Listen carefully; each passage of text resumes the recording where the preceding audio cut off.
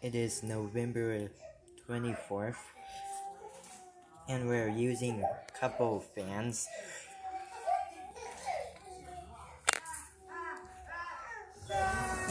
In this living room, we have this ceiling fan going.